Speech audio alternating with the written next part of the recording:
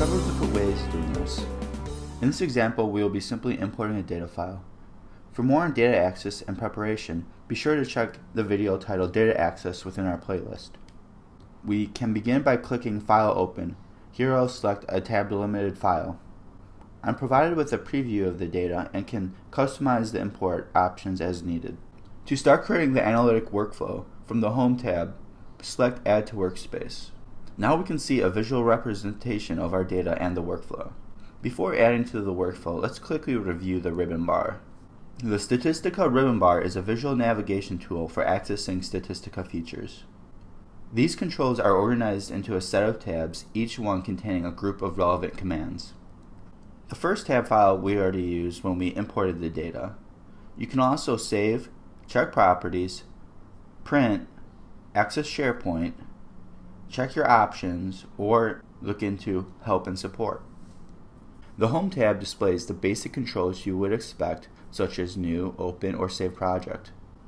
The Enterprise tab is only available if you have Statistica Enterprise Server installed. Here you have enterprise-related controls such as the Enterprise Manager, ETL options, and the ability to deploy your workspace to the enterprise, just to name a few. The Edit tab will have different editing options based on the type of document being displayed. Moving to statistics, the different basic, advanced, and multivariate and industrial statistics and tool groups of controls are available. Each one of these drop-downs provide the different options for each control. If at any point you need clarification on an option, you can access the built-in Statistica help. This provides comprehensive reference information on all procedures, facilities, and options of the Statistica application.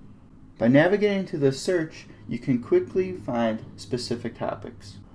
The next few tabs are data mining, data visualization, and data. For more on these, please view the related videos.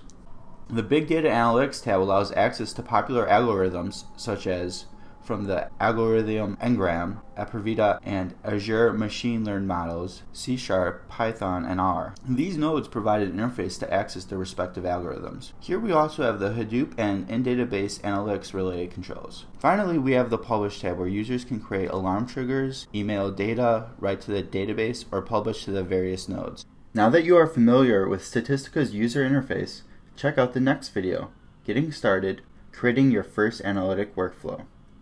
Thanks for watching.